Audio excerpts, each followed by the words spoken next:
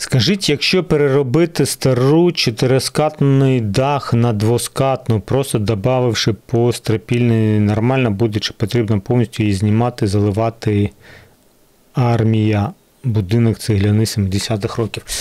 Е, Пан Миколайович, нема ніякої проблеми, якщо ви, якщо старі конструкції, вони добротні, немає ніяких проблем зі стінами, і ви їх можете залишити лише надбудувати над старою конструкцією даху.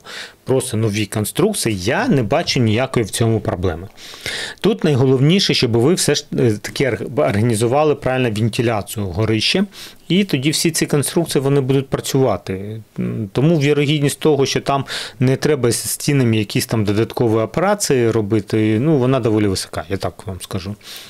Тобто, скоріш за все, нема, не буде ніяких проблем, якщо ви просто на старій конструкції добудуєте нові, щоб поміняти форму даху. Е, Тому так, вірогідність висока.